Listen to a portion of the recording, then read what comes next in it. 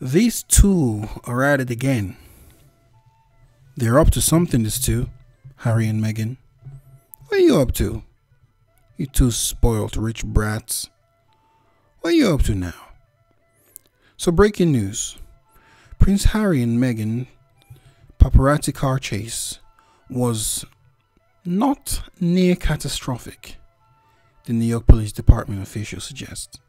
Well, there was news earlier on that they were being chased down the streets. They were being chased down. The, then there was like a uh, a high speed chase down New York Street. Driving around the streets of New York, being chased down, high speed car chase, both of them on some Fast and Furious type shit. That was what the spokesperson said. And they were, they were, they were scared for their life, and you know, it's a bit reminiscent of what happened to his mom and all that stuff, and in Paris that night that led to Princess Diana's untimely demise. Like, why would you even want to bring something like that for clout? These people are such attention whores. This Harry and his husband, they're so there's so much of glutton for attention. It's pathetic.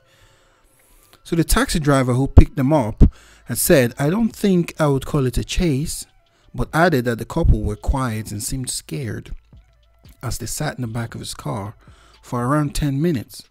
So their spokesperson said their spoke, spokesperson, um, Harry and his wife, spoke spokesperson, or rather his husband, said it was a chase for like two hours, like a high speed chase. Who was chasing them? Some armed people trying to take their lives? Some on some uh Agent 47 type stuff?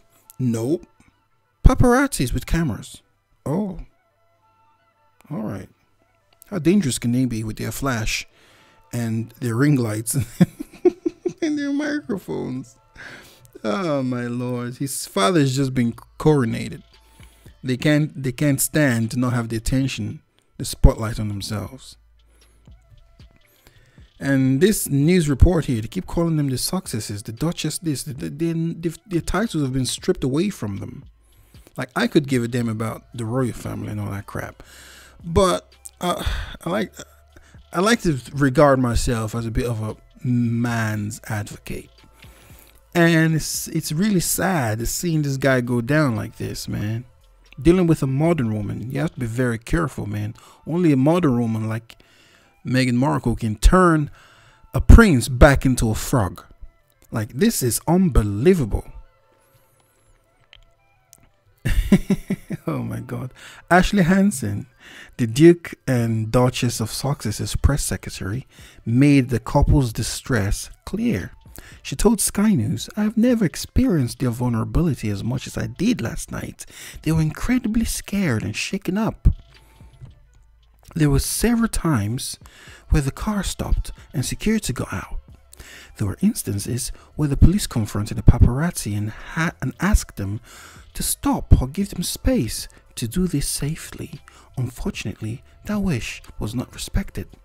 But the taxi driver who picked up Harry and Meghan and her mother, Doria Ragland, outside the precinct, uh, precinct around 15 minutes after the group arrived, said photographers uh, to take photos and capture videos during their short time in his car.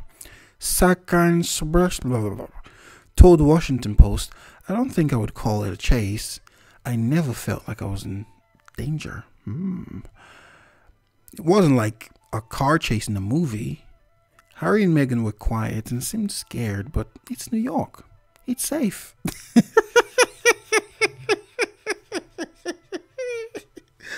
Uh, oh, he's painting a different picture.